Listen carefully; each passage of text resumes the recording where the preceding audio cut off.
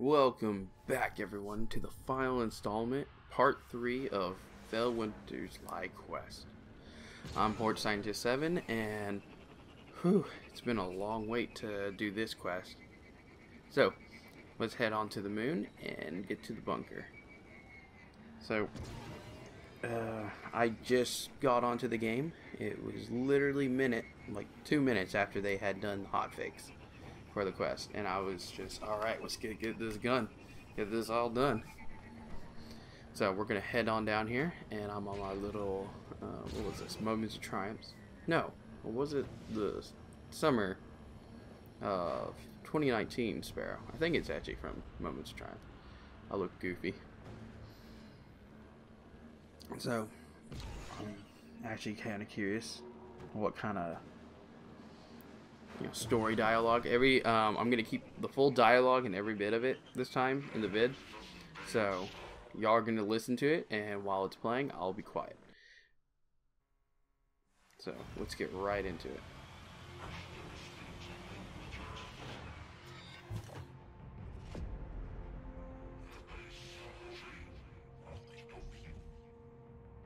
He's telling a story. In a time of great prosperity, a tyrant king sent his son to live among the people and learn their ways. He did so for many years, until a great calamity befell the kingdom. In the aftermath, the tyrant's son was changed.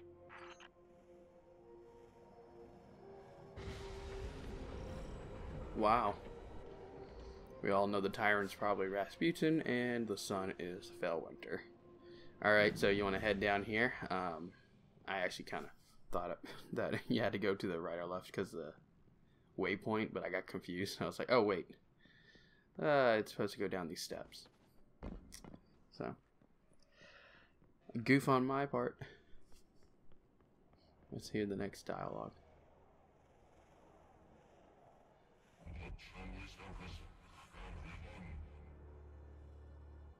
Tyrant's son turned away from his father and became a warrior.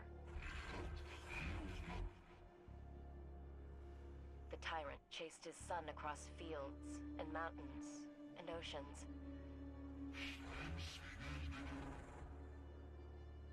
He said, If I can't have my son, then no one shall. Wow. And that's when Rasputin killed.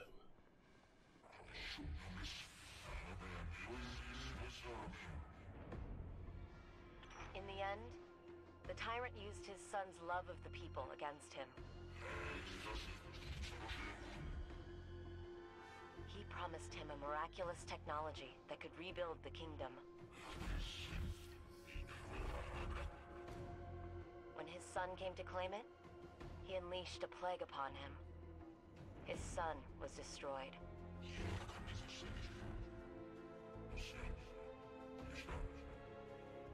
And the tyrant looked upon his tyranny and wept. Uh, the Siva outbreak. This really makes me think that they're going to do it.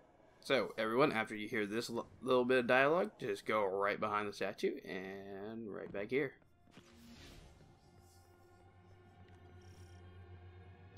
So, very interesting story, and Rasputin actually became kinder because he lost his son. Amazing.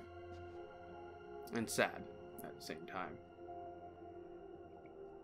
Felwinter, part Exo, part Warmind, and part Guardian, as well as an Iron Lord.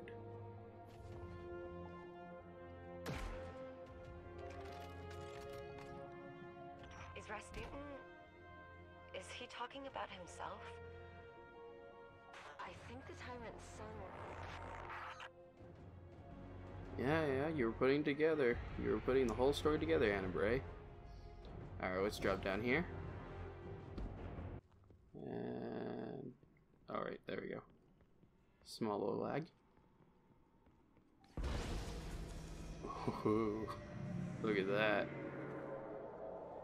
Uh, you got to admire this. That is really cool.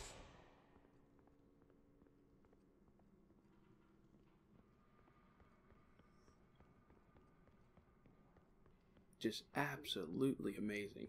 I really did like the story for this. But I would have to say it was kind of a long wait. That stupid bug kind of slowed down the progress, and we didn't get the um, Felwinter shotgun ornament in the store this week, so I'll have to wait until next week to get it. Dang, holographic version of Felwinter. His gun, and if you notice, his right leg and right bracer on his arm from his Iron Banner armor is there. So that was actually pretty interesting. So it looks like Rasputin had parts of his son's armor retrieved. Couldn't retrieve him.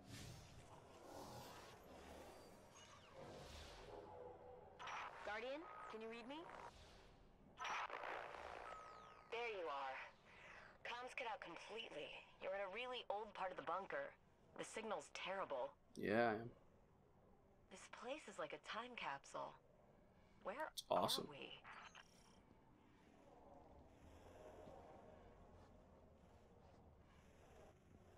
I'm just looking at this, and let's cut to here, to the next part. This looks like the casing of an old safety AI, but marked with Rasputin symbol.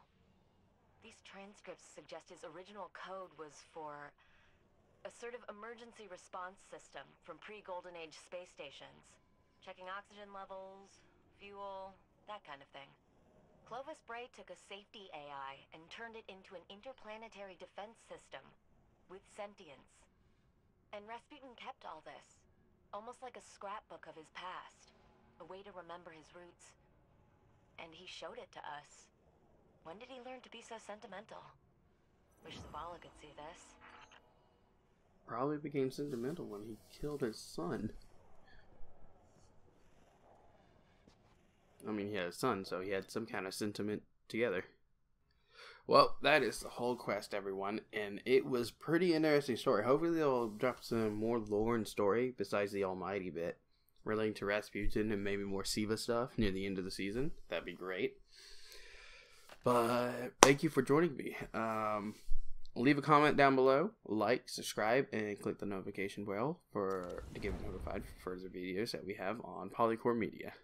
Um, I'm Port Scientist Seven, and thank you everyone once again for watching the vid. And just a quick little recap: this gun looks amazing, and hopefully it'll be really good in Crucible. So, thank you again, and have a great day.